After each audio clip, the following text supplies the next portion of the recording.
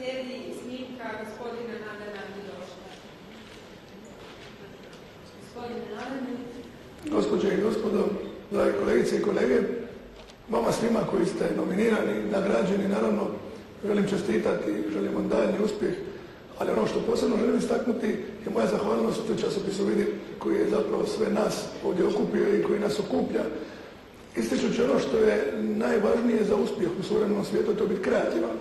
Znate, možete nečiju ideju uzeti, možete je derivirati, ali onda ste, budete sigurni, limitirani sa konačnim uspjehom. Kreacija, kreacija u sferi informacije je ono što nosi, što je siguran put ka uspjehu. Vama kažem nagrađenima, vama nominiranima želim i dalje uspjeha, a svima onima koji se nisu našli u krugu tih odabranih, neka ih slijede. Što nas bude više takvih, Hrvatska će biti bogatija i sretnija. Pozdrav svima!